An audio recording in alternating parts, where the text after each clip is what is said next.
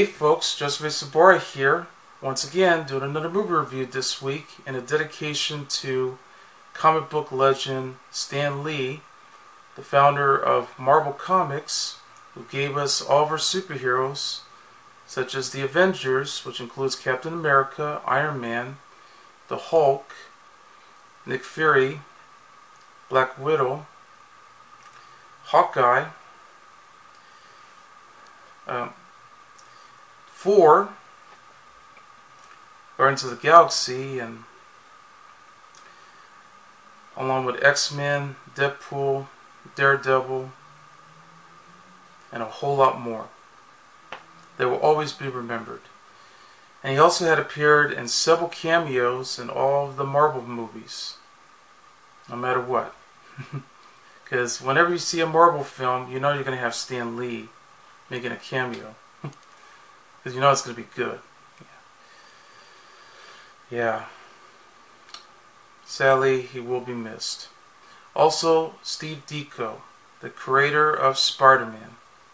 Yes, the web-swinging hero who's our friendly neighbor. yeah, he will be missed as well. So anyway, for that particular dedication, I'm going to be reviewing Spider-Man Into the Spider-Verse, a CGI animated film in this particular comic book style. It's a story about a teenager from Brooklyn who really admires Spider-Man, but not his uh, cop fodder, because he thought he was a menace. All of a sudden, he gets bitten by a radioactive spider and winds up becoming the next Spider-Man with the help of a group of Spider people that's coming from a multi-universe. All set up by William Fisk, aka Kingpin, who's the villain in this film. Now, uh, for those who know, know who've seen this movie in theaters, because it is definitely the best Spider-Man movie to date, especially for 2018, because it's also nominated for an Oscar for Best Animated Feature recently. I mean, who knows if it's going to win or not, but it did one for the Annie Awards recently, so I'm happy for that. Um, as well as the Golden Globes. Um, but also to keep that in mind for those who've seen this in theaters, yes, um, for those who have epileptic seizures, be aware because of all the flashy images and all of that involved in the film. Not to mention all that movement that has a bit of stop motion in there. Yeah. That's becoming a trend a lot lately too. They happen with Incredibles 2 and all these other recent films. I guess that was the idea. Stars uh, Shameik Moore, Jake Johnson, Hailee Steinfeld, Mahershala Ali, Brian Tyree Henry, Lily Tomlin, Luna Lauren Velez, John Mahoney, Kimiko Glenn, Nicolas Cage, Kathryn Hahn, and Liev Schreiber. It's written by Phil Lord, who usually collaborates with Christopher Miller with films like The Lego Movie and 21 Jump Street films. But this time he co-writes with Rodney Rothman. But Phil Lord and Christopher Miller are the producers of the film, along with Amy Pascal, Avi Arad, and Christina Steinberg. and it's directed by three directors, Bob Persichetti, Peter Ramsey, and Rodney Rothman. The movie begins when we meet a teenager from Brooklyn who's a black Latino American named Miles Morales, who admires our friendly neighborhood Spider Man, our web swinging superhero, who struggles living up to the expectations of his parents including his father, who was a police officer named Jefferson Davis, who actually sees Spider-Man as a menace. But after school, since he attended at the academy that uh, his father had attended to, Miles secretly visits his uncle Aaron Davis, who brings Miles to an abandoned subway station where they had to create uh, graffiti art.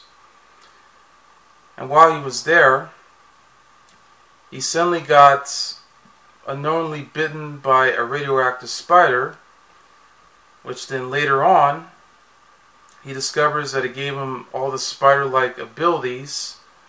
Yeah, where he's beginning to hear all of his thoughts and started getting a spider sense in this comic book feel to it. Yeah, because you see, you know, all the words that's happening. He also, of course, uh, meets a student, which he met earlier, named Gwen, which unfortunately he accidentally uh, sticks uh, his hand to her hair. Yeah, because it, it just wouldn't let go. So then Gwen took him to the nurse just to get it out. So they had to shave it off and you know, it actually messes up her hair. Even worse, um, he was being chased around by principal went straight into the principal office and suddenly escapes. And of course, you even hear like a Spider-Man Christmas song. that was pretty funny. Uh, but then he escapes and he was sticking um, his hands uh, through the building, you know, trying to go to to his entire uh, dorm room to enter inside. And plus, he was reading a comic book to see what's going on. And this is where he begins to experience it. So even becomes invisible too. And it emulates electric bend and blast too.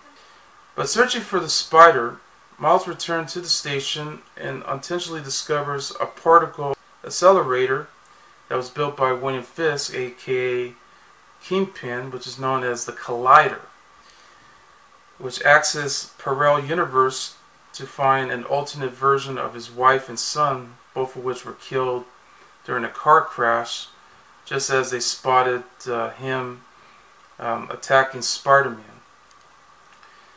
Spider-Man, however, was about to disable it while fighting Fisk enforcers, the Green Goblin and the Prowler.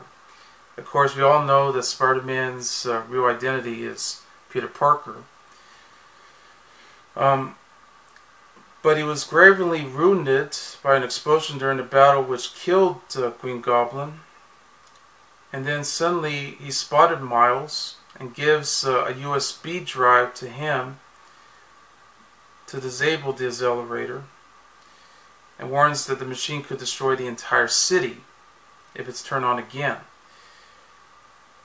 But then Fisk suddenly kills uh, Spider-Man as Miles just spotted it.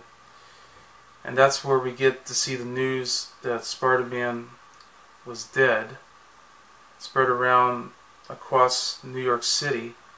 Yeah, and that's when they had a funeral that's set up with uh, Mary Jane Watson appearing.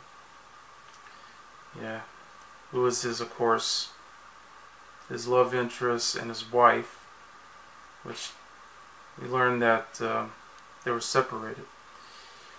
So afterwards, uh, Miles purchases a Spider-Man costume, tries it out to, to use his newfound abilities, but he accidentally broke the USB drive.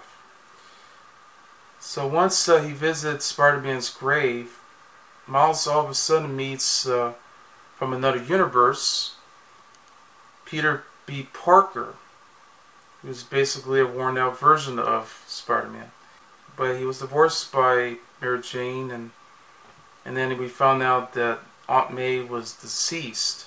So Peter reluctantly agrees to train Miles in exchange to help him steal the data from William Fisk's research facility as they confronted by Fisk's chief uh, scientist, who's a woman named Octavia Octavius, who of course Doc Ock. So that way they can create a new drive so they'll be able to um, be able to get all the information enough to stop the, the collider. So they're being attacked by Doc Ock until they're being saved by Gwen Stacy, which Miles had met previously at the Academy. Um, but she's actually from another dimension.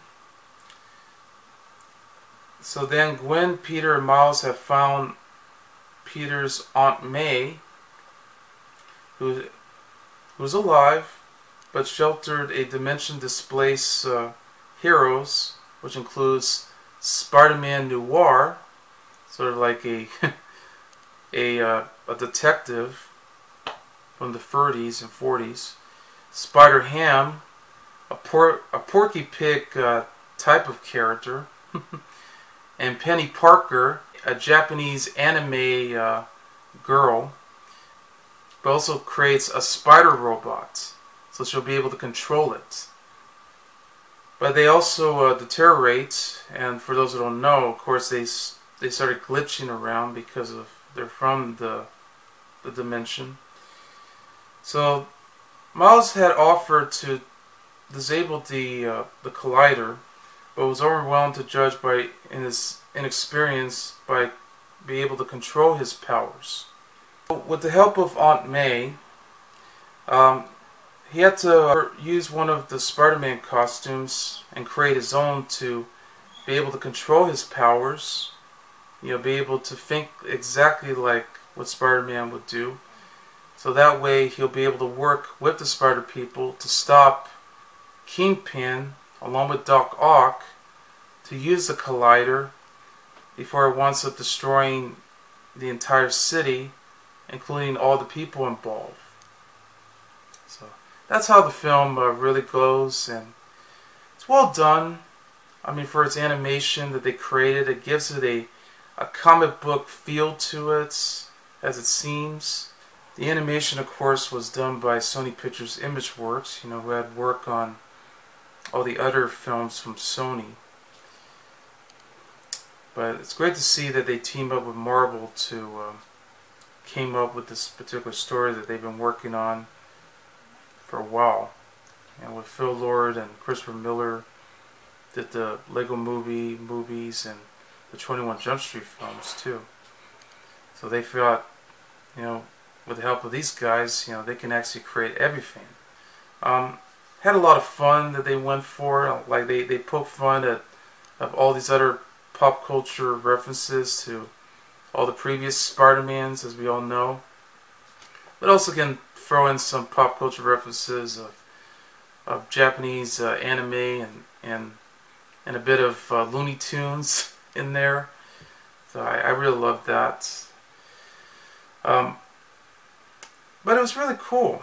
You know, they I, I find it pretty interesting that they went for diversity this time because I mean the fact that you get a uh, a black Latino teenager because he also um, has uh, a mother who's um, who is uh, Latino, and then um, even has an, an uncle. Basically, does what he does, you know, just doing all these graffiti art and everything. While he has a father who's an officer, just couldn't stand Spider-Man, but hey, in the end, you'll be able to learn. Um, but I had to say it was really fun. I mean, having to see uh, all different Spider-Mans or Spider people from a different universe, and they're helping the Miles out be able to learn all the moves and all the powers and to control and everything. And yes, it has a mix of all the other music that you hear, you know, some rap songs and and all this random stuff, but you get the idea. Um, they even show um, all the, um, you know, how they all began too. Like they always show how Spider-Man began, or or how they begin, all in comic book form, and they tell their story all together. that was pretty clever. Um, but it did have impressive voice acting, all which uh, are done by very talented actors like, of course, Shameik Moore, Jake Johnson, uh, even Lily Tomlin too. with uh, Nicolas Cage. I mean, geez, it's like now you know you can recognize some of the voice acting that you hear. And Hailee Steinfeld too. I mean, they were all very good. And they did, they did a very good job portraying it. I know they're gonna uh, work on a sequel uh, pretty soon. Hopefully, they will see what they can do. It's already becoming a huge hit at the box office, um, earning 35 9.1 million out of its 90 million budget that this movie went for. And it does pay a tribute to Spider-Man, but it really had a lot of fun for the characters. Uh, not a bad scene whatsoever. That's that's a good thing. I highly recommend this movie. So anyway, that's Spider-Man Into the Spider-Verse. And I give the movie five stars. I'm Joseph A. Sobora, and I'll see you later. Bye.